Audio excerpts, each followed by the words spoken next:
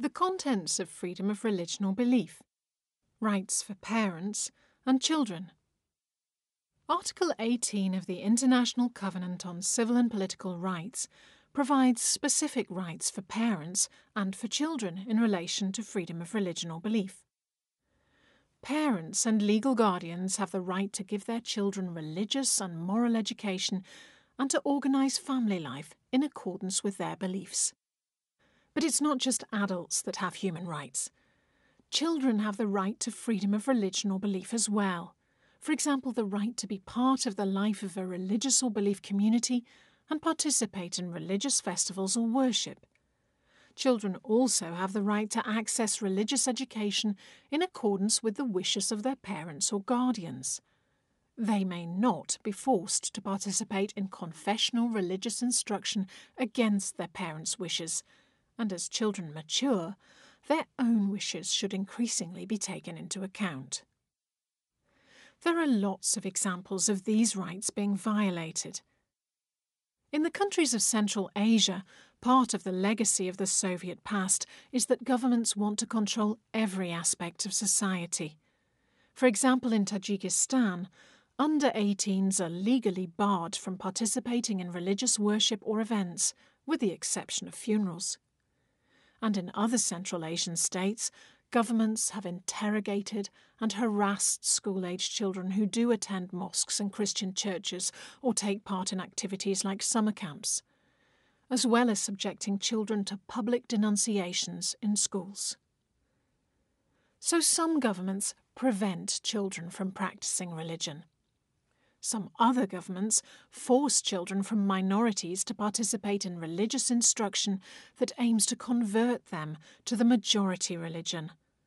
This happens despite the fact that states have a duty to ensure that children can get exemptions to confessional religious instruction, not just in theory, but in practice. In Turkey, the religious culture and ethics curriculum and textbooks still include confessional religious instruction, despite some reforms. Jewish and Christian students are theoretically exempt, but in practice these exemptions can be difficult or impossible to claim.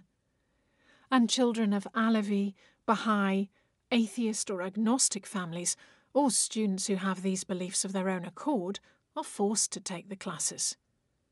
In all of these examples, both parents and children's rights are being violated. Before the Convention on the Rights of the Child was adopted, international human rights law didn't really discuss the rights of the child specifically. The Convention changed that, emphasising children as rights holders and in Article 14 as having the right to freedom of religion or belief themselves.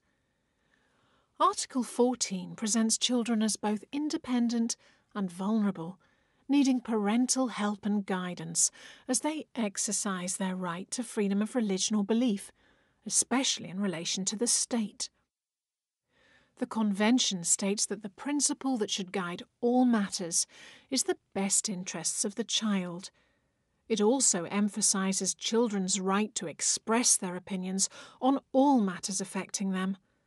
Nonetheless, it's often grown ups, in particular parents, who come to a conclusion about what these best interests are and speak up for them. Sometimes, however, the interests of children and parents can be different. In these cases, children's right to freedom of religion or belief has to be balanced against the same right of parents. For example, at what age does a child have the right to make their own decisions about religious practice or belief? About whether they want to go to church, for example.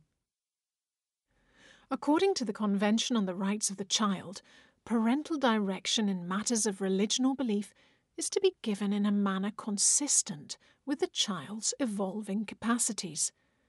In other words, the older and more mature a child becomes, the greater freedom they should have. The international legal norm for adulthood lies at 18. But the question of how much independence and mental maturity is ascribed to children as they progress through childhood varies greatly between cultures and contexts. different countries have different laws and regulations. In Sweden, for example, children from the age of 12 can't be made a member of a religious community against their will. The Convention on the Rights of the Child does establish a universal norm regarding how parents bring children up. The practice of a religion or belief may not harm the physical or mental health or development of a child. Cases concerning parents' rights to freedom of religion or belief versus the rights of the child seldom come to court However, the right of Jehovah's Witnesses to stop their children from receiving blood transfusions is one example where courts have ruled against parents' rights to freedom of religion or belief and in favour of the child's right to life. To sum up, in this film we've looked at the rights of parents and children. Children have the right to freedom of religion or belief, and parents have the right to bring their children up in accordance with their beliefs. This should be done in a manner consistent with the child's growing maturity, and the practice of a religion or belief may not harm the physical or mental health or development of a child. Examples of violations include states that forbid children from practicing religion and states that force majority religious instruction on minority children. You can find more information about the rights of parents and children in relation to freedom of religion or belief, including texts of human rights documents that refer to it, in the training materials on the website.